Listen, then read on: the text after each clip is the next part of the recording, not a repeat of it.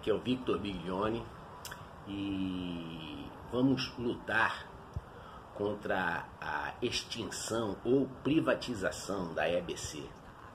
Ela é e sempre foi fundamental, independente dos diferentes governos ou regimes, muito importante para a cultura brasileira, para a nossa formação cultural. É muito importante neste momento o nosso apoio, porque todo mundo sabe que cultura é tudo. É tudo para uma nação. Todo mundo sabe da importância que a cultura é para uma nação. Então eu digo, em nome de todos os artistas, em nome da cultura, fica EBC. Fica.